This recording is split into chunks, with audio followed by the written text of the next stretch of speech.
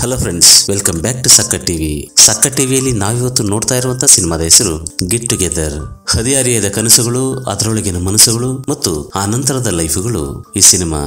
ಈ ಸಿನಿಮಾ ಶುರುವಾಗುತ್ತಲೇ ನಾವು ಒಬ್ಬ ಹುಡುಗನನ್ನ ನೋಡ್ತೇವೆ. ಅವನು ತನ್ನ ಕ್ಲಾಸ್ನಲ್ಲಿ ಓದ್ತಾ ಇರುವಂತ ಹುಡುಗಿಯನ್ನ ರಸ್ತೆ ಮಧ್ಯದಲ್ಲೇ ತಡೆದು ನಿಲ್ಲಿಸ್ತಾನೆ. ಹಾಗೇನೆ ತನ್ನ ಹೃದಯದ ಮಾತುಗಳನ್ನ ಅವಳ ಹತ್ರ ಹೇಳ್ಕೊಳ್ತಾನೆ. ಆದ್ರೆ ಅವನ ಮಾತುಗಳನ್ನ ಕೇಳಿದಂತ ಹುಡುಗಿ ಸಡನ್ ಆಗಿ ರಿವರ್ಸ್ ಆಗ್ತಾಳೆ. ನನಗಿದೆಲ್ಲ ಇಷ್ಟ ಆಗಲ್ಲ. ನಮ್ಮ ಮನೆಯಲ್ಲೂ ಕೂಡ ಇದನ್ನೆಲ್ಲ ಒಪ್ಕೊಳ್ಳೋದಿಲ್ಲ. ಇನ್ನೊಂದ್ಸಾರಿ ಏನಾದ್ರೂ ನನ್ನ ಹಿಂದಿಂದೆ ಬಂದು ಈ ತರ ಎಲ್ಲ ಮಾತಾಡಿದ್ರೆ ಪ್ರಿನ್ಸಿಪಾಲ್ ಹತ್ರ ಕಂಪ್ಲೇಂಟ್ ಮಾಡ್ಬೇಕಾಗುತ್ತೆ ಅಂತಾಳೆ. ಇನ್ನು ಇವರಿಬ್ಬರ ಜಗಳವನ್ನ ನೋಡಿದಂತಹ ಅದೇ ರಸ್ತೆಯಲ್ಲಿ ಬರ್ತಾ ಇದ್ದಂತ ಯುವತಿಯೊಬ್ಬಳು ಹುಡುಗನನ್ನ ಭಯ ತೊಡಗ್ತಾಳೆ ಮತ್ತು ಅಲ್ಲಿದ್ದಂತ ಸ್ಕೂಲ್ ಹುಡುಗಿಗೆ ಅಲ್ಲಿಂದ ಹೋಗುದಕ್ಕೆ ಹೇಳ್ತಾಳೆ. ಇನ್ನು ಆ ಸ್ಕೂಲ್ ಹುಡುಗಿ ಅಲ್ಲಿಂದ ಹೋಗುತ್ತಲೇ ಈ ಯುವತಿ, ನೀವೆಲ್ಲ ಸ್ಕೂಲ್ಗೆ ಬರೀ ಇದಕ್ಕೆ ಬರ್ತೀರಾ? ಇನ್ನೊಂದ್ಸಾರಿ ಏನಾದ್ರೂ ಇದೆಲ್ಲ ಮುಂದುವರೆದ್ರೆ ನಿಮ್ ಸ್ಕೂಲಲ್ಲಿ ಬಂದು ಕಂಪ್ಲೇಂಟ್ ಮಾಡ್ತೀನಿ. ಇಲ್ಲದೆ ಹೋದ್ರೆ ಡೈರೆಕ್ಟ್ ಆಗಿ ನಿಮ್ ಮನೆಗೆ ಬಂದು ನಿಮ್ಮ ಅಪ್ಪ ಅಮ್ಮನಿಗೆ ಹೇಳ್ತೀನಿ ಅಂತ ಗದರ್ತಾಳೆ ಇನ್ನು ಇದೆಲ್ಲ ಕೇಳ್ತಾ ಇದ್ದಂತಹ ಆ ಹುಡುಗ ತನ್ನ ಹತ್ರ ಇದ್ದಂತ ಟೆಂತ್ ಪೇಪರ್ಸ್ ಅನ್ನ ಆ ಯುವತಿ ಹತ್ರ ಕೊಡ್ತಾನೆ. ಇದರಿಂದ ಅವಳಿಗೆ ಗೊತ್ತಾಗುತ್ತೆ ಈ ಹುಡುಗ ಓದೋದ್ರಲ್ಲೂ ಕೂಡ ಟಾಪ್ ಕ್ಲಾಸ್ ಇದ್ದಾನೆ ಅಂತ. ಆಗ ಸ್ಕೂಲ್ ಹುಡುಗ ಹೇಳ್ತೇನೆ, ನಾವಿಬ್ರು ಚಿಕ್ಕ ವಯಸ್ಸಿನಿಂದಲೂ ಕೂಡ ಒಂದೇ ಸ್ಕೂಲಲ್ಲಿ ಓದ್ತಾ ಇದೀವಿ ಅಂಡ್ ಆವಾಗಿನಿಂದಲೂ ಕೂಡ ಆ ಹುಡುಗಿ ನನಗೆ ಇಷ್ಟವಾಗ್ತಾ ಇದ್ಲು. ಹಾಗಾಗಿ ಅವಳ ಹತ್ರ ನನ್ನ ಪ್ರೀತಿಯನ್ನ ಹೇಳ್ಕೊಂಡೆ. ಆದ್ರೆ ಅವಳು ಇದನ್ನೆಲ್ಲ ಅರ್ಥ ಮಾಡಿಕೊಳ್ಳದೆ ರೋಡಲ್ಲಿ ರಂಪ ಮಾಡಿಬಿಟ್ಲು. ಸಾರಿ ಅಂತಾನೆ. ಇನ್ನು ಅವನ ಮಾತುಗಳನ್ನ ಕೇಳಿದಂತಹ ಈ ಯುವತಿ ಆಲೋಚನೆಯಲ್ಲಿ ಬೀಳ್ತಾಳೆ. ಅಂಡ್ ಇವಳ ಹೆಸರು ಪ್ರಾಚಿ ದೇಶ್ಮುಖ್. ಮತ್ತು ಇವಳು ಪುಣೆಯಲ್ಲಿರುವಂತಹ ಇನ್ಫೋಸಿಸ್ ಕಂಪನಿಯಲ್ಲಿ ಕೆಲಸ ಮಾಡ್ತಾ ಇರ್ತಾಳೆ. ಆನಂತರ ಅವಳು ಮನೆಗೆ ಬರ್ತಾಳೆ. ತನ್ನ ಲ್ಯಾಪ್ಟಾಪ್ ಅನ್ನ ತೆಗೆದುಕೊಂಡು ತಾನು ಟೆಂತ್ ಓದ್ಬೇಕಾದ್ರೆ ಜೊತೆಯಲ್ಲಿದ್ದಂತಹ ಫ್ರೆಂಡ್ಗಳ ಹೆಸರುಗಳನ್ನ ಹುಡುಕತೊಡಗ್ತಾಳೆ. ಆಗ ಅವಳಿಗೆ ಫೇಸ್ಬುಕ್ ಅಲ್ಲಿ ಅಜಿತ್ ಶಿಂದೆ ಹೆಸರಿನ ಫ್ರೆಂಡ್ ಒಬ್ಬನ ಪ್ರೊಫೈಲ್ ಕಾಣಿಸುತ್ತೆ. ಆಗ ಅವಳು ಅವನಿಗೆ ಫ್ರೆಂಡ್ ರಿಕ್ವೆಸ್ಟ್ ಅನ್ನ ಕಳಿಸ್ತಾಳೆ. ಅಂಡ್ ಅಜಿತ್ ಅವಳ ಫ್ರೆಂಡ್ ರಿಕ್ವೆಸ್ಟ್ ಅನ್ನ ಅಕ್ಸೆಪ್ಟ್ ಮಾಡ್ತಾನೆ. ಸೊ ಆ ನಂತರ ಅವರಿಬ್ಬರು ಚಾಟ್ ಮಾಡ್ತಾ ಮಾತಾಡತೊಡಗ್ತಾರೆ. ಆ ಟೈಮಲ್ಲಿ ಪ್ರಾಚಿಗೆ ಗೊತ್ತಾಗುತ್ತೆ, ಅಜಿತ್ ಆರ್ಮಿಯಲ್ಲಿದ್ದಾನೆ ಮತ್ತು ಕೆಲವು ದಿನಗಳಷ್ಟು ಕಾಲ ಲೀವ್ ಅನ್ನ ತೆಗೆದುಕೊಂಡು ಮತ್ತೆ ಪುಣೆಗೆ ವಾಪಸ್ ಬರ್ತಾ ಇದ್ದಾನೆ ಅಂತ. ಯಾಕಂದ್ರೆ ಆ ಟೈಮಲ್ಲಿ ನ ತಂಗಿಯ ಮದುವೆ ಇರುತ್ತೆ. ಸೊ ಹೀಗಾಗಿ ಪ್ರಾಚಿ ದೇಶ್ಮುಖ್ ಮತ್ತು ಅಜಿತ್ ಶಿಂದೆ ತಮ್ಮ ನಂಬರ್ಸ್ ಅನ್ನ ಎಕ್ಸ್ಚೇಂಜ್ ಮಾಡಿಕೊಳ್ತಾರೆ. ಸೀನ್ ಕಟ್ ಮಾಡಿದ್ರೆ ಇಬ್ಬರು ಕೂಡ ಪುಣೆಯಲ್ಲಿ ಮೀಟ್ ಆಗ್ತಾರೆ. ಆ ಟೈಮಲ್ಲಿ ಪ್ರಾಚಿ ತಮ್ಮ ಸ್ಕೂಲಲ್ಲಿ, ತಮ್ಮ ಜೊತೆಯಲ್ಲಿ ಓದ್ತಾ ಇದ್ದಂತಹ ಫ್ರೆಂಡ್ಗಳ ಬಗ್ಗೆ ವಿಚಾರಿಸತೊಡಗ್ತಾಳೆ.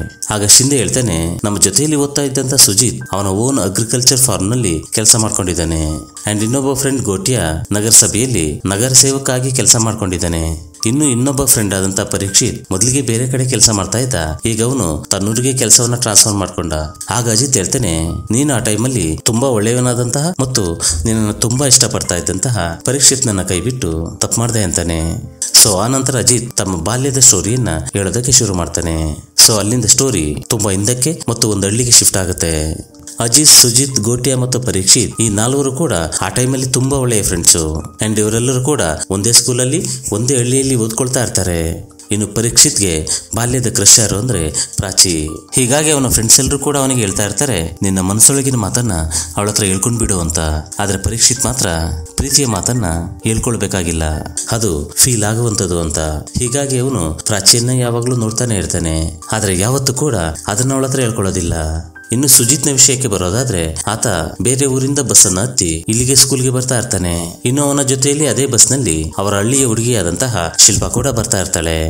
ಅಂಡ್ ಅವಳು ಕೂಡ ಅವನ ಜೊತೆಯಲ್ಲಿ ಟೆಂತ್ ಸ್ಟ್ಯಾಂಡರ್ಡ್ನಲ್ಲಿ ಓದ್ತಾ ಇರ್ತಾಳೆ. ಇನ್ನು ಸುಜಿತ್ಗೆ ಯಾವಾಗ್ಲೂ ಕೂಡ ಮರವಿನ ಕಾಯಿಲೆ. ಹೀಗಾಗಿ ಅವನು ಡೈಲಿ ಏನಾದ್ರೊಂದು ಮರ್ತೇ ಬರ್ತಿರ್ತಾನೆ. ಆ ಟೈಮಲ್ಲಿ ಶಿಲ್ಪ ಅವನಿಗೆ ಹೆಲ್ಪ್ ಮಾಡ್ತಾ ಇರ್ತಾಳೆ. ಇದರಿಂದಾಗಿ ಸುಜಿತ್ಗೆ ಶಿಲ್ಪ ತುಂಬಾ ಇಷ್ಟವಾಗ್ತಾ ಇರ್ತಾಳೆ. ಇನ್ನು ನಾಲ್ಕನೇ ಫ್ರೆಂಡ್ ಗೋಟಿಯಾ. ಇನ್ನು ಇವನು ಯಾರಿಗೂ ಕೇರ್ ಮಾಡದಂತಹ ಡೇರ್ ಡಿವಿಲ್ ಹುಡುಗ. ತನಗನ್ಸಿದ್ದನ್ನ, ಬೇರೆಯವ್ರಿಗನ್ಸೋದನ್ನ ಮುಲಾಜಿಲ್ಲದೆ ಎಲ್ಲರೆದುರಲ್ಲಿ ಓಪನ್ ಆಗಿ ಹೇಳ್ಕೊಳ್ತಾನೆ. ಇನ್ನು ಹೇಳ್ಬೇಕಂದ್ರೆ, ಅವನು ಯಾರಿಗೂ ಎದುರುವಂತ ಮನುಷ್ಯನೇ ಅಲ್ಲ. ಜೊತೆಗೆ ಅವನು ಆ ಟೈಮಲ್ಲಿ ಪಾನ್ ಪರ ಕಮಲಾ ಪಸಂದ್ ಗುಟ್ಕಾಗಳನ್ನ ತಿಂತಾ ಇರ್ತಾನೆ. ಇದ್ರ ಜೊತೆಗೆ ಅವನ ಕ್ಲಾಸಲ್ಲೇ ಓದ್ತಾ ಇದ್ದಂತಹ ವರ್ಷ ಅನ್ನುವಂತ ಹುಡುಗಿಯನ್ನ ಇಷ್ಟಪಡ್ತಾ ಇರ್ತಾನೆ. ಇನ್ನು ವರ್ಷ ಕೂಡ ಯಾರಿಗೂ ಕೇರ್ ಮಾಡದಂತಹ ಡೇರಿಂಗ್ ಆಗಿರುವ ಹುಡುಗಿ. ಜೊತೆಗೆ ಜಗಳ ಗಂಟಿ ಇನ್ನು ಗೋಟಿಯಾಗಿ ಯಾವಾಗ ವರ್ಷ ಕಾಣಿಸಿದ್ರು ಕೂಡ ಅವಳನ್ನು ತಡೆದು ನಿಲ್ಲಿಸ್ತಾನೆ. ಅಂಡ್ ಯಾವಾಗ್ಲೂ ಕೂಡ ಅವಳಿಗೆ ಲೈ ನೋಡಿತಾ ಏನೇನು ತರಲೆ ಮಾಡ್ತಾನೆ ಇರ್ತಾನೆ. ಇಷ್ಟಾದ್ರೂ ಕೂಡ ವರ್ಷ ಏನು ಅವನ ಮೇಲೆ ಅಷ್ಟಾಗಿ ಸಿಟ್ಟಾಗೋದಿಲ್ಲ. ಹೀಗಾಗಿ ಗೋಟಿ ಅನ್ಕೊಳ್ತಾನೆ, ವರ್ಷನು ಕೂಡ ನನ್ನನ್ನು ಇಷ್ಟಪಡ್ತಾ ಇದ್ದಾಳೆ ಅಂತ. ಇನ್ನು ಸ್ಕೂಲ್ ಎಲ್ಲವೂ ಕೂಡ ಮುಗಿದ ನಂತರ ಈ ನಾಲ್ವರು ಕೂಡ ಒಂದು ಪ್ಲೇಸ್ ಅಲ್ಲಿ ಮೀಟ್ ಆಗ್ತಾ ಇರ್ತಾರೆ. ಅಂಡ್ ಆ ಪ್ಲೇಸ್ ಅನ್ನ ಅವರೆಲ್ಲರೂ ಕೂಡ ಅವರ ವಿಲೇಜ್ನ ಕ್ಲಬ್ ಹೌಸ್ ಅನ್ಕೊಳ್ತಾ ಇರ್ತಾರೆ. ಇನ್ನು ಅಲ್ಲಿದ್ದಂತ ಜಾವೇದ್ ಸ್ಕೂಲ್ ಹುಡುಗರು ಆಟವಾಡ್ಕೊಳ್ಳೋದಕ್ಕಂತ ಹಲವಾರು ಕೇರಂ ಬೋರ್ಡ್ಗಳನ್ನ ಚೆಸ್ ಬೋರ್ಡ್ಗಳನ್ನ ಅವರಿಗೆ ಕೊಡ್ತಾ ಇರ್ತಾನೆ. ಜೊತೆಗೆ ಅವರು ಸ್ಟಡಿ ಮಾಡೋದಕ್ಕೋಸ್ಕರ ಒಂದಷ್ಟು ಬುಕ್ಸ್ ಅನ್ನ, ಹಾಗೇನೆ ಫಿಟ್ನೆಸ್ಗೋಸ್ಕರ ಜಿಮ್ ಎಕ್ವಿಪ್ಮೆಂಟ್ಸ್ ಅನ್ನ ಕೊಡ್ತಾ ಇರ್ತಾನೆ. ಆತ ಗೌರ್ಮೆಂಟ್ ಎಕ್ಸಾಮ್ಸ್ಗೋಸ್ಕರ ಪ್ರಿಪೇರ್ ಆಗ್ತಾ ಇರ್ತಾನೆ. ಅಂಡ್ ಇವರೆಲ್ಲರೂ ಕೂಡ ಅವನನ್ನ ಲವ್ ಗುರು ಅಂತ ಕರೀತಾ ಇರ್ತಾರೆ. ಇನ್ನು ಈ ನಾಲ್ವರ ಲೈಫ್ ಅಲ್ಲಿ ಏನೇ ಪ್ರಾಬ್ಲಮ್ ಗಳಾದ್ರೂ ಕೂಡ ಅದೆಲ್ಲವನ್ನ ಆತ ಸಾಲ್ವ್ ಮಾಡ್ತಾ ಇರ್ತಾನೆ. ಆಗ ಸುಜಿತ್ ಅವನನ್ನ ಕೇಳ್ತಾನೆ, ನಾವ್ ಒಂದ್ ವೇಳೆ ಒಂದು ಹುಡುಗಿಗೆ ಫ್ರೆಂಡ್ ಆಗಿದ್ಕೊಂಡು ಅವಳಿಗೆ ಪ್ರಪೋಸ್ ಮಾಡಿದ್ರೆ ನಮ್ಮ ಫ್ರೆಂಡ್ಶಿಪ್ ಕಟ್ ಆಗೋದಿಲ್ವಲ್ಲ ಅಂತ. ಆಗ ಲವ್ ಗುರು ಹೇಳ್ತಾನೆ, ಈ ಹುಡುಗಿಯರಿಗೆ ತುಂಬಾ ಧೈರ್ಯವಂತ ಹುಡುಗರು ಇಷ್ಟವಾಗ್ತಾರೆ. ಆದ್ರೆ ಒಳಗೊಳಗೆ ಎದುರ್ಕೊಳ್ಳುವಂತಹ ಹುಡುಗರು ಇಷ್ಟವಾಗೋದೇ ಇಲ್ಲ ಅಂತಾನೆ. ಜೊತೆಗೆ ಹುಡುಗಿಯರು ಯಾವತ್ತೂ ಕೂಡ ಹುಡುಗರಿಗೆ ಪ್ರಪೋಸ್ ಮಾಡೋದಿಲ್ಲ. ಪ್ರಪೋಸ್ ಮಾಡೋದೇನಿದ್ರು ನಾವು ಹುಡುಗರೇ ಮಾಡ್ಬೇಕು ಅಂತ ಹೇಳ್ತಾನೆ. ಇನ್ನು ಇದೆಲ್ಲವನ್ನು ಕೂಡ ಕೇಳಿದಂತಹ ಡೇರಿಂಗ್ ಗೋಟ್ಯ ಖುಷಿ ಆಗ್ತಾನೆ. ಸೊ ಮಾರನೇ ದಿನ ಗೋಟಿಯ ವರ್ಷ ಹತ್ರಕ್ಕೆ ಹೋಗಿ ಅವಳನ್ನ ರೇಗಿಸತೊಡಗ್ತಾನೆ. ಆದ್ರೆ ವರ್ಷ ಮಾತ್ರ ಅವನನ್ನೇನು ಕೂಡ ಬಯೋದಿಲ್ಲ. ಸುಮ್ಮನೆ ಅದನ್ನೆಲ್ಲ ನೋಡ್ತಾ ಸ್ಮೈಲ್ ಮಾಡ್ತಾ ಹೊರಟು ಹೋಗ್ತಾಳೆ ಇನ್ನು ಈ ನಾಲ್ವರು ಫ್ರೆಂಡ್ ಅಲ್ಲಿ ಒಬ್ಬನಾದಂತಹ ಸುಜಿತ್ ಕೂಡ ಶಿಲ್ಪಗೋಸ್ಕರ ಒಂದು ಲವ್ ಲೆಟರ್ ಅನ್ನ ಬರ್ಕೊಂಡು ಬಂದಿರ್ತಾನೆ. ಆದ್ರೆ ಅದನ್ನ ಅವಳಿಗೆ ಕೊಡೋದಕ್ಕೆ ಇವನಿಗಷ್ಟು ಧೈರ್ಯವಿರೋದಿಲ್ಲ. ಇದರಿಂದಾಗಿ ಸುಜಿತ್ ಗೋಟಿಯನ್ನ ಹೆಲ್ಪ್ ಕೇಳ್ತಾನೆ. ಆಗ ಗೋಟ್ಯ ಸ್ಕೂಲ್ಗೆ ಹೋಗ್ತಾ ಇರುವಂತಹ ಶಿಲ್ಪಾಳನ್ನ ತಡೆದು ನಿಲ್ಲಿಸ್ತಾನೆ. ಆದ್ರೆ ಇದೆಲ್ಲವನ್ನು ಕೂಡ ನೋಡ್ತಾ ಇದ್ದಂತಹ ಸುಜಿತ್ ತುಂಬಾ ಭಯಪಡ್ತಾ ಅಲ್ಲಿಂದ ಓಡಿ ಹೋಗ್ತಾನೆ. ಆದ್ರೆ ಗೋಟ್ಯ ಮಾತ್ರ ಯಾವುದಕ್ಕೂ ಕೂಡ ಹೆದರದೆ ಸುಜಿತ್ ಕೆಳಗೆ ಬೀಳಿಸಿ ಹೋಗಿದ್ದಂತ ಕಾರ್ಡ್ ತೆಗೆದುಕೊಂಡು, ಆ ಸುಜಿತ್ ನಿನ್ಗೋಸ್ಕರ ಕಾರ್ಡ್ ಅನ್ನ ತಂದಿದ್ದಾನೆ ಅಂತ ಹೇಳಿ ಅದನ್ನ ಅವಳಿಗೆ ಕೊಡ್ತಾನೆ. ಆನಂತರ ಈ ನಾಲ್ವರು ಹುಡುಗರು ಕೂಡ ಆ ಕ್ಲಬ್ ಹೌಸ್ ಅಲ್ಲಿ ಮೀಟ್ ಆಗ್ತಾರೆ ಮತ್ತು ಅವರೆಲ್ಲರೂ ಕೂಡ ಸುಜಿತ್ನ ಪುಕ್ಕಲತನವನ್ನ ನೋಡಿ ಆಡಿಕೊಂಡು ನಗತೊಡಗ್ತಾರೆ. ಆ ಟೈಮಲ್ಲಿ ಅವರಿಗೆ ಒಂದು ವಿಚಾರ ತಿಳಿಯುತ್ತೆ. ಗೋಟೆನ ಫಾದರ್ನ ಹೆಲ್ತ್ ಕಂಡೀಷನ್ ಸೀರಿಯಸ್ ಆಗ್ತಾ ಇದೆ ಅಂತ.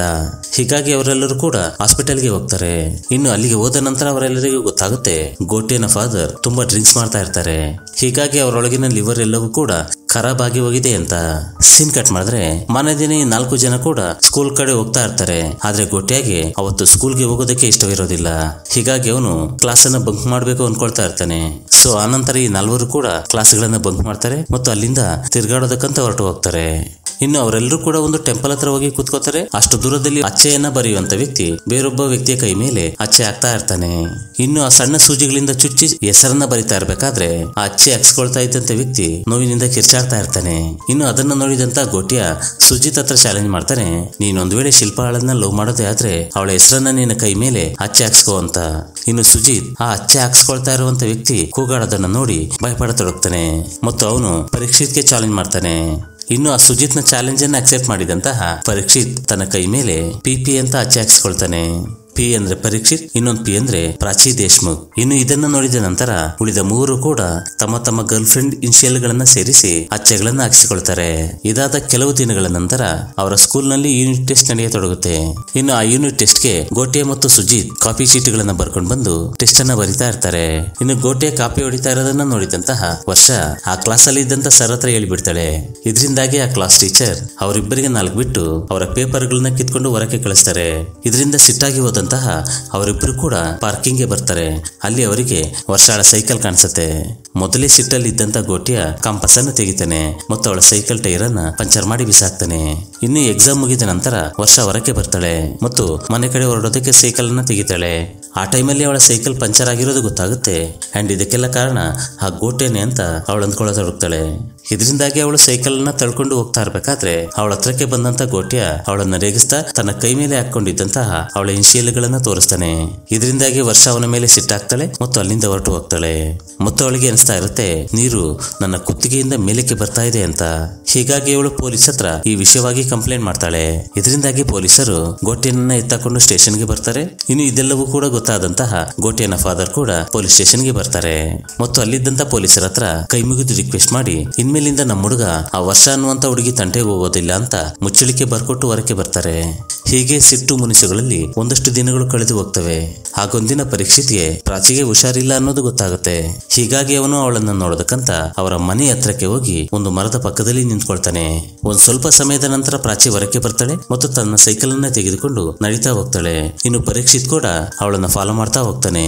ಇನ್ನು ಪ್ರಾಚಿ ಸೈಕಲ್ ಅಲ್ಲಿ ಹೋಗ್ತಾ ಇರಬೇಕಾದ್ರೆ ವೆಲ್ಡಿಂಗ್ ಮಾಡ್ತಾ ಇದ್ದಂತ ರಂಗಿ ಅನ್ನುವಂತ ಯುವಕ ಅವಳನ್ನ ತಡಿತಾನೆ ಮತ್ತು ಅವಳ ಹತ್ರ ಏನೇನೋ ಮಾತಾಡತೊಡಗ್ತಾನೆ ಇದರಿಂದ ಸಿಟ್ಟಾಗಿ ಹೋದಂತಹ ಪ್ರಾಚಿ ಆ ಮಾಡುವ ರಂಗಿಯನ್ನ ಬೈದು ಅಲ್ಲಿಂದ ಹೊರಟು ಹೋಗ್ತಾಳೆ ಇನ್ನು ಇದೆಲ್ಲವನ್ನು ಕೂಡ ದೂರದಲ್ಲಿ ನಿಂತು ನೋಡ್ತಾ ಇದ್ದಂತಹ ಪರೀಕ್ಷಿತ್ ವೆಲ್ಡಿಂಗ್ ರಂಗಿಯನ ಮೇಲೆ ಸೆಟ್ ಆಗಿ ಹೋಗ್ತಾನೆ. ಮತ್ತವನು ತನ್ನ ಫ್ರೆಂಡ್ಸ್ ಹತ್ರಕ್ಕೆ ಬಂದು ಈ ವಿಷಯವನ್ನ ಹೇಳ್ಕೊಳ್ತಾನೆ. ಸೊ ಆಗ ಅವ್ರು ಹೇಳ್ತಾರೆ, ಹಾಗಾದ್ರೆ ಆ ರಂಗಿನಿಗೆ ಪಂಚ್ ಟ್ರೀಟ್ಮೆಂಟ್ ಕೊಡ್ಲೇಬೇಕು ಅಂತ. ಹೀಗಾಗಿ ಪರೀಕ್ಷಿತ್ ವೆಲ್ಡಿಂಗ್ ಮಾಡ್ತಾ ಇರುವಂತ ರಂಗಿಯನ ಹತ್ರಕ್ಕೆ ಹೋಗ್ತಾನೆ, ಮತ್ತು ಅವನನ್ನ ಚೆನ್ನಾಗಿ ಹೊಡೆದು ಕೆಳಕ್ಕೆ ಬಿಸಾಕ್ತಾನೆ. ಮತ್ತು ಅವನ ಹತ್ರಕ್ಕೆ ಬಂದು, ನಾಳೆ ಬೆಳಿಗ್ಗೆ ನೀನು ಪ್ರಾಚಿ ಹತ್ರ ಸಾರಿ ಕೇಳಬೇಕು ಅಂತ ವಾರ್ನಿಂಗ್ ಮಾಡ್ತಾನೆ.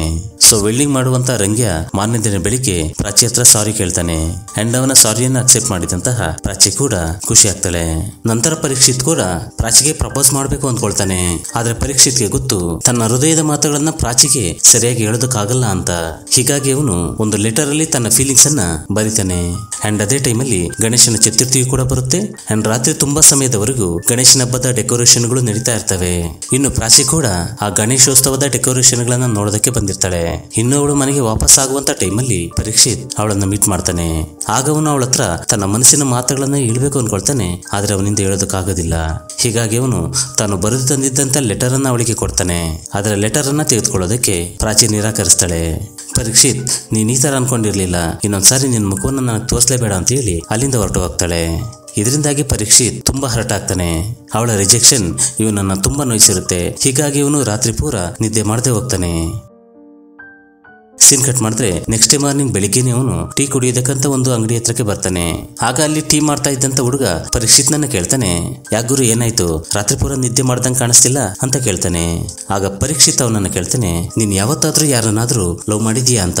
ಆಗ ಟೀ ಶಾಪ್ನ ಹುಡುಗ ಹೇಳ್ತಾನೆ, ನಾನು ಚಿಕ್ಕ ವಯಸ್ಸಲ್ಲಿ ಇದ್ದಾಗಲೇ ನಮ್ಮ ಅಪ್ಪ, ಅಮ್ಮ ಸತ್ತೋದ್ರು. ಆಗ್ನಿಂದಲೂ ಕೂಡ ನಾನು ಈ ಟೀ ಶಾಪ್ ಅಲ್ಲಿ ಕೆಲಸ ಮಾಡ್ತಾ ಇದ್ದೀನಿ. ಈ ಪ್ರೀತಿ, ಗೀತಿ ಅನ್ನೋದು ನಿಮ್ಮಂತ ಹುಡುಗರಿಗೆ. ಯಾಕಂದ್ರೆ ನಿಮ್ಮನ್ನ ನೋಡ್ಕೊಳ್ಳೋದಕ್ಕಂತ ನಿಮ್ಮ ಅಪ್ಪ, ಅಮ್ಮ ಇರ್ತಾರೆ. ಅವ್ರು ನಿಮ್ಮನ್ನ ಓದಿಸ್ತಾರೆ. ನಿಮ್ಮಂತ ಹುಡುಗರಿಗೆ ಅದೆಲ್ಲ ಸೂಟ್ ಆಗುತ್ತೆ. ಆದ್ರೆ ನಮಗೆ ಈ ಟೀ ಶಾಪ್ ಇಂದಲೇ ದಿನ ನಡಿಬೇಕು. ಹಾಗಾಗಿ ಈ ಪ್ರೀತಿ ಗೀತಿ ಇತ್ಯಾದಿ ಒಂದು ಹಂತದವರೆಗೂ ನಮ್ಗೆ ಇರೋದಿಲ್ಲ ಅಂತ ಹೇಳ್ತಾನೆ. ಅವನ ಮಾತುಗಳನ್ನ ಕೇಳಿದಂತಹ ಪರೀಕ್ಷಿತ್ಗೆ ಜ್ಞಾನೋದಯವಾಗುತ್ತೆ. ಹೀಗಾಗಿ ಅವನು ತನ್ನ ಫ್ಯೂಚರ್ ಮತ್ತು ಕರಿಯರ್ ಕಡೆ ಫೋಕಸ್ ಮಾಡತೊಡಗ್ತಾನೆ. ಇದಾದ ಕೆಲವು ದಿನಗಳಿಗೆಲ್ಲ ಅವರ ಟೆಂತ್ ಎಕ್ಸಾಮ್ಗಳು ಮುಗಿದು ಹೋಗ್ತವೆ. ಸೊ ಆನಂತರ ಅವರೆಲ್ಲರೂ ಕೂಡ ಒಂದು ಪ್ಲೇಸ್ ಅಲ್ಲಿ ಕೂತ್ಕೊಂಡು ಹರಟೆ ಹೊಡಿತಾ ಇರ್ತಾರೆ.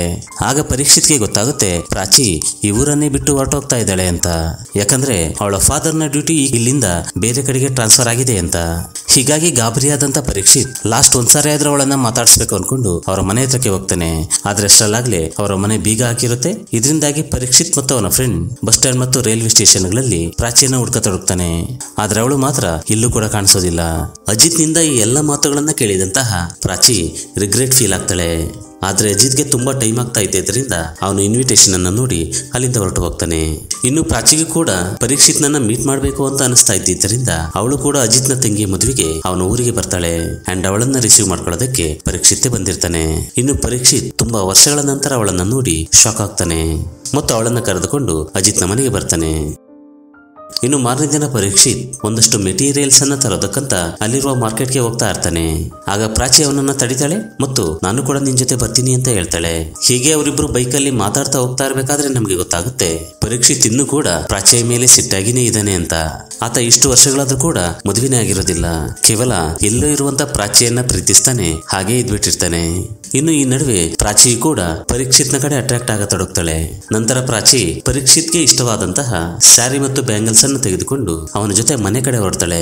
ಹಾಗೆ ಅವರಿಬ್ರು ಬರ್ತಾ ಇರ್ಬೇಕಾದ್ರೆ ಬೈಕ್ ಪಂಚರ್ ಆಗುತ್ತೆ. ಹೀಗಾಗಿ ಅವರು ಬೈಕ್ ಅನ್ನ ಸೈಡ್ಗೆ ಹಾಕಿ ಮಾತಾಡ್ತಾ ನಿಂತ್ಕೊಳ್ತಾರೆ. ಆ ಟೈಮಲ್ಲಿ ಪ್ರಾಚಿ ತನ್ನ ಕಥೆಯನ್ನ ಹೇಳ್ತಾಳೆ. ನನಗೆ ಮದುವೆ ಏನೋ ಆಗಿತ್ತು. ಆದ್ರೆ ಅದು ವರ್ಕೌಟ್ ಆಗದೆ ಡಿವೋರ್ಸು ಆಗೋಯ್ತು. ಇನ್ನು ಅದಕ್ಕೆ ಕಾರಣಗಳು ಏನು ಅಂತ ಹೇಳೋದಾದ್ರೆ ನನ್ನ ಮದುವೆ ಆಗಿದ್ದಂತ ನನ್ನ ಗಂಡ ನನ್ನ ಹತ್ರ ಸುಳ್ಳು ಹೇಳಿದ್ದ. ನಾನು ಐ ಟಿ ಕಂಪನಿಯಲ್ಲಿ ಜಾಬ್ ಮಾಡ್ತಾ ಇದ್ದೀನಿ. ನನಗೆ ಲಕ್ಷ ಲಕ್ಷ ಸಂಬಳ ಬರ್ತಾ ಇದೆ ಮತ್ತು ಸಿಕ್ಕಾಪಟ್ಟೆ ಆಸ್ತಿ ಕೂಡ ಇದೆ ಅಂತೆಲ್ಲ ಸುಳ್ಳುಗಳನ್ನ ಹೇಳಿದ್ದ. ಆದ್ರೆ ಆಮೇಲೆ ಗೊತ್ತಾಯ್ತು, ಆತ ಹೇಳಿದ್ದೆಲ್ಲವೂ ಕೂಡ ಸುಳ್ಳು ಅಂತ. ಸರಿ, ಹೋದ್ರೆ ಹೋಗ್ಲಿ. ನಾನೇ ಅಡ್ಜಸ್ಟ್ ಆಗ್ಬೇಡೋಣ ಅಂತ ಅನ್ಕೊಂಡ್ರೆ ಆತ ನಾನು ದುಡ್ಕೊಂಡು ಬರ್ತಿದ್ದಂತ ದುಡ್ಡೆಲ್ಲವನ್ನು ಕೂಡ ಮಜಾ ಮಾಡಿ ಉಡಾಯಿಸ್ತಾ ಇದ್ದ. ಅಂಡ್ ಸಣ್ಣ ಸಣ್ಣ ವಿಷಯಕ್ಕೂ ಕೂಡ ದೊಡ್ಡದಾಗಿ ಜಗಳ ಮಾಡ್ತಾ ಮದ್ವೆ ಸಂಸಾರ ಅಂದ್ರೇನೆ ಇಷ್ಟು ಅಂತ ತೋರಿಸ್ಬಿಟ್ಟ. ಹಾಗಾಗಿ ನಾನು ಅವನಿಂದ ಡಿವೋರ್ಸ್ ತಗೊಂಡೆ ಅಂತ ಹೇಳ್ತಾಳೆ. ನಂತರ ಪ್ರಾಚಿ ಪರೀಕ್ಷಿತ್ನನ್ನ ಕೇಳ್ತಾಳೆ, ಹೌದು, ನೀನ್ ಯಾಕೆ ಮದ್ವೆ ಆಗಿಲ್ಲ ಅಂತ? ಆದ್ರೆ ಅದಕ್ಕೆ ಪರೀಕ್ಷಿತ್ನ ಹತ್ರ ಯಾವುದೇ ಉತ್ತರವಿರೋದಿಲ್ಲ. ಸೊ ಆನಂತರ ಅವರಿಬ್ರು ಅಲ್ಲಿಂದ ಹೊರಟು ಅಜಿತ್ನ ಮನೆಗೆ ಬರ್ತಾರೆ. ಸೊ ನೆಕ್ಸ್ಟ್ ಡೇ ಮದುವೆ ಸಂಭ್ರಮ ಶುರುವಾಗುತ್ತೆ. ಪ್ರಾಚಿ ಪರೀಕ್ಷಿತ್ಗೆ ಇಷ್ಟವಾಗಿದ್ದಂತಹ ಬಳೆಗಳನ್ನು ತೊಟ್ಕೊಳ್ತಾಳೆ ಮತ್ತು ಅವನಿಗೆ ಲೈಕ್ ಆಗಿದ್ದಂತ ಸೀರೆಯನ್ನು ಉಟ್ಕೊಂಡು ಮಿಂಚತೊಡಗ್ತಾಳೆ ಅಂಡ್ ಅವಳನ್ನ ನೋಡಿದಂತ ಪರೀಕ್ಷಿತ್ ಕೂಡ ತುಂಬಾ ಖುಷಿ ಆಗ್ತಾನೆ ನೋಡ್ತಾ ನೋಡ್ತಾ ಅವರಿಬ್ರು ಕೂಡ ಈ ಮದುವೆಯಲ್ಲಿ ನಾವೇ ವಧುವರ ಆಗಿದ್ರೆ ಹೇಗಿರುತ್ತೆ ಅಂತ ಇಮ್ಯಾಜಿನ್ ಮಾಡಿಕೊಳ್ಳತೊಡಗ್ತಾರೆ. ಆದ್ರೆ ಇಬ್ರು ಕೂಡ ತಮ್ಮೊಳಗಿನ ಪ್ರೀತಿಯನ್ನ ಹೇಳ್ಕೊಳ್ಳೋದಿಲ್ಲ. ಇನ್ನು ಮದುವೆ ಎಲ್ಲವೂ ಕೂಡ ಮುಗಿದ ನಂತರ ಅದೇ ದಿನ ರಾತ್ರಿ ಪ್ರಾಚಿ ತನ್ನ ಮನೆಗೆ ಹೋಗೋದಕ್ಕೆ ರೆಡಿ ಆಗ್ತಾಳೆ. ಆ ಟೈಮಲ್ಲಿ ಅಜಿತ್ ಪ್ರಾಚಿಗೆ ಇವತ್ತು ರಾತ್ರಿ ಇಲ್ಲೇ ಉಳ್ಕೊಂಡು ನಾಳೆ ಹೋಗುವಂತೆ ಹೇಳ್ತಾನೆ. ಆನಂತರ ಪರೀಕ್ಷಿತ್ ಮತ್ತು ಪ್ರಾಚಿ ಇಬ್ಬರು ಕೂಡ ಪರೀಕ್ಷಿತ್ನ ಹಳೆಯ ಮನೆಗೆ ಹೋಗ್ತಾರೆ. ಇನ್ನು ಪರೀಕ್ಷಿತ್ ಮನೆಗೆ ಬಂದಿರೋದನ್ನು ನೋಡಿದಂತಹ ಊರಿನ ಒಬ್ಬ ಮಹಿಳೆ ಪರೀಕ್ಷಿತ್ ಹತ್ರಕ್ಕೆ ಬಂದು ಅವನಿಗೆ ಕೈ ಮುಗಿದು ಕಾಲಿಗೆ ಬೀಳೋದಕ್ಕೆ ಹೋಗ್ತಾಳೆ. ಯಾಕಂದ್ರೆ ಪರೀಕ್ಷಿತ್ ಅವನ ಮಗನ ಕೇಸನ್ನ ಯಾವುದೇ ಫೀಸನ್ನ ತೆಗೆದುಕೊಳ್ಳದೆ ಕೋರ್ಟ್ ಅಲ್ಲಿ ಲಾಯರ್ ಆಗಿ ವಾದಿಸಿ ಗೆದ್ದು ಕೊಟ್ಟಿರ್ತಾನೆ. ಇನ್ನು ಅದನ್ನ ಕೇಳಿದಂತ ಪ್ರಾಚಿಯು ಕೂಡ ಖುಷಿ ಆಗ್ತಾಳೆ. ಆಗ ಪ್ರಾಚಿ ಅವನನ್ನ ಕೇಳ್ತಾಳೆ, ನೀನು ಅಡ್ವೊಕೇಟ್ ಯಾವಾಗಾದೆ ಅಂತ. ಆಗ ಪರೀಕ್ಷಿತ್ ಹೇಳ್ತಾನೆ, ನನ್ನ ಇಂಜಿನಿಯರಿಂಗ್ ಮುಗಿದ ನಂತರ ನನ್ನ ಅಪ್ಪ ಮತ್ತು ಅಮ್ಮ ಸತ್ತೋದ್ರು. ಆ ಟೈಮಲ್ಲಿ ನಾನು ತುಂಬಾ ಡಿಪ್ರೆಷನ್ ನಲ್ಲಿದ್ದೆ ಹೀಗಾಗಿ ಅದೇ ಪೀರಿಯಡ್ನಲ್ಲಿ ನಾನು ಲಾ ಓದಿ ಅದನ್ನ ಕಂಪ್ಲೀಟ್ ಮಾಡಿದೆ. ಅದಾದ ನಂತರ ನನಗೆ ನನ್ನ ಫಾದರ್ ಕೆಲಸಕ್ಕೆ ಪೋಸ್ಟಿಂಗ್ ಆಯ್ತು. ಹೀಗಾಗಿ ನಾನು ಗೌರ್ಮೆಂಟ್ ಕೆಲಸವನ್ನ ಮಾಡ್ತಾ ಮಾಡ್ತಾ ಈ ಅಡ್ವೊಕೇಟ್ ಕೆಲಸವನ್ನ ಜನರಿಗೋಸ್ಕರ ಫ್ರೀಯಾಗಿ ಮಾಡ್ತಾ ಇರ್ತೀನಿ ಅಂತ ಹೇಳ್ತಾನೆ. ಹಾಗೇನೆ ಅವನು ಹೇಳ್ತಾನೆ, ನಾಳೆ ನನ್ನ ಅಪ್ಪ ಅಮ್ಮನ ಡೆತ್ ಆನಿವರ್ಸರಿ ಅಂತ ಸೀನ್ ಕಟ್ ಮಾಡಿದ್ರೆ ನೆಕ್ಸ್ಟ್ ಡೇ ಮಾರ್ನಿಂಗ್ ಪ್ರಾಚಿ ತುಂಬಾ ಚೆನ್ನಾಗಿ ರೆಡಿಯಾಗಿ ಪರೀಕ್ಷಿತ್ನ ಅಪ್ಪ ಅಮ್ಮನ ಪುಣ್ಯತಿಥಿಯನ್ನ ತುಂಬಾ ಸರಳವಾಗಿ, ಶಾಸ್ತ್ರೋಕ್ತವಾಗಿ ಮಾಡಿ ಮುಗಿಸ್ತಾಳೆ. ನಂತರ ಅವರಿಬ್ಬರು ಹಾಗೆ ಮಾತಾಡ್ತಾ ಇರ್ಬೇಕಾದ್ರೆ ಅವರು ಎಸ್ ಎಸ್ ಎಲ್ ಸಿಯಲ್ಲಿ ಇದ್ದಾಗ ಓದಿದಂತಹ ಹಳೆಯ ಸ್ನೇಹಿತರೆಲ್ಲರೂ ಕೂಡ ಮತ್ತೆ ಸೇರುವಂತಹ ಗೆಟ್ ಟುಗೆದರ್ ಅರೇಂಜ್ ಮಾಡೋಣ ಅಂತ ಪ್ಲಾನ್ ಮಾಡ್ತಾರೆ. ಆನಂತರ ಮತ್ತೊಂದಷ್ಟು ಗೆಳೆಯರೆಲ್ಲ ಸೇರಿ ಗೆಟ್ ಟುಗೆದರ್ ಅನ್ನ ಫಿಕ್ಸ್ ಮಾಡ್ತಾರೆ. Finally get together programme start ಆಗುತ್ತೆ. ಇನ್ನು ಆ ಫಂಕ್ಷನ್ಗೆ ಹಳೆಯ ಸ್ನೇಹಿತರೆಲ್ಲರೂ ಕೂಡ ಬಂದಿರ್ತಾರೆ ಮತ್ತು ಎಲ್ಲರೂ ಜೊತೆಯಲ್ಲಿ ಮಾತಾಡ್ತಾ ತಮ್ಮ ತಮ್ಮ ಎಕ್ಸ್ಪೀರಿಯನ್ಸಸ್ ಅನ್ನ ಶೇರ್ ಮಾಡಿಕೊಳ್ತಾರೆ. ಇನ್ನು ಆ ಸರಳವಾದ ಫಂಕ್ಷನ್ಗೆ ಅವರಿಗೆ ಪಾಠ ಹೇಳ್ಕೊಟ್ಟಿದ್ದಂತಹ ಇಬ್ಬರು ಟೀಚರ್ಸ್ ಕೂಡ ಬಂದಿರ್ತಾರೆ. ಅವರು ಕೂಡ ತಮ್ಮ ಮನದ ಮಾತುಗಳನ್ನ ತಮ್ಮ ಹಳೆಯ ಸ್ಟೂಡೆಂಟ್ಸ್ ಹತ್ರ ಹೇಳಿಕೊಳ್ತಾರೆ. So finally get together function ಮುಗಿತಾ ಬರುತ್ತೆ. ಆಗ ಅಲ್ಲಿಗೆ ಬಂದಿದ್ದಂತ ವರ್ಷ ಗೋಟಿಯನ್ ಹತ್ರ ಸಾರಿ ಕೇಳ್ತಾಳೆ. ಅಂಡ್ ಗೋಟಿಯ ಕೂಡ ಲೈಫ್ ಅಲ್ಲಿ ಅದು ಆ ಟೈಮಲ್ಲಿ ಇದೆಲ್ಲ ಮಾಮೂಲಿ ಅಂತ ಅವಳನ್ನ ಕೂಲ್ ಮಾಡ್ತಾನೆ. ಇನ್ನು ಗೆಟ್ ಟುಗೆದರ್ ಫಂಕ್ಷನ್ ಮುಗಿದು ಹೋದ ನಂತರ ಪರೀಕ್ಷಿತ್ ಮತ್ತು ಪ್ರಾಚಿ ಮನೆ ಕಡೆ ಬರ್ತಾ ಇರ್ತಾರೆ. ಆ ಟೈಮಲ್ಲಿ ಪ್ರಾಚಿಗೆ ಹತ್ತಿರದಲ್ಲೇ ಇದ್ದಂತ ಒಂದು ದೇವಸ್ಥಾನಕ್ಕೆ ಹೋಗ್ಬೇಕನ್ಸುತ್ತೆ. ಹಾಗಾಗಿ ಅವರಿಬ್ಬರು ಅಲ್ಲಿರುವಂತ ದೇವಸ್ಥಾನದ ಹತ್ರಕ್ಕೆ ಹೋಗ್ತಾರೆ. ಮತ್ತಲ್ಲಿ ದೇವರಿಗೆ ಕೈ ಮುಗಿದು ದೇವರ ಆಶೀರ್ವಾದವನ್ನ ಪಡೆದುಕೊಂಡು ಇಬ್ರು ನಡೀತಾ ಮನೆ ಕಡೆ ಬರ್ತಾರೆ. ಆಗ ಪರೀಕ್ಷಿತ್ ತಾನು ಎಸ್ ಎಸ್ ಎಲ್ ಸಿಯಲ್ಲಿ ಇದ್ದಾಗ ಅವಳಿಗೆ ಕೊಡ್ಬೇಕಂತ ಬರೆದಿಟ್ಟಿದ್ದಂತಹ ಲೆಟರ್ ಅನ್ನ ಅವಳಿಗೆ ಕೊಡ್ತಾನೆ. ಅಂಡ್ ಪ್ರಾಚಿ ಅಲ್ಲಿ ನಿಂತು ಆ ಲೆಟರ್ ಅನ್ನ ಓದತೊಡಗ್ತಾಳೆ ಅದನ್ನ ಓದ್ತಾ ಓದ್ತಾ ಪ್ರಾಚಿಗೆ ಅಳು ಬಂದಂತಾಗುತ್ತೆ. ಯಾಕಂದ್ರೆ ಇಷ್ಟೊಳ್ಳೆ ಫ್ರೆಂಡ್ ಅನ್ನ ನಾನು ಮಿಸ್ಅಂಡರ್ಸ್ಟ್ಯಾಂಡಿಂಗ್ ಮಾಡ್ಕೊಂಡ್ಬಿಟ್ಟೆ ಅಂತ. ಆಗ ತಕ್ಷಣ ಪರೀಕ್ಷಿತ್ ಅವಳಿಗೆ ಪ್ರಪೋಸ್ ಮಾಡ್ತಾನೆ. ಅಂಡ್ ಪ್ರಾಚಿ ಕೂಡ ಅವನನ್ನ ಅಕ್ಸೆಪ್ಟ್ ಮಾಡ್ತಾ ಎಸ್ ಅಂತಾಳೆ. ಹೀಗೆ ಗೆಟ್ ಟುಗೆದರ್ ಪಾರ್ಟಿಯಿಂದ ಹಳೆಯ ಪ್ರೇಮಿಗಳು ಮತ್ತೆ ಒಂದಾಗ್ತಾರೆ. ನಮಸ್ಕಾರ.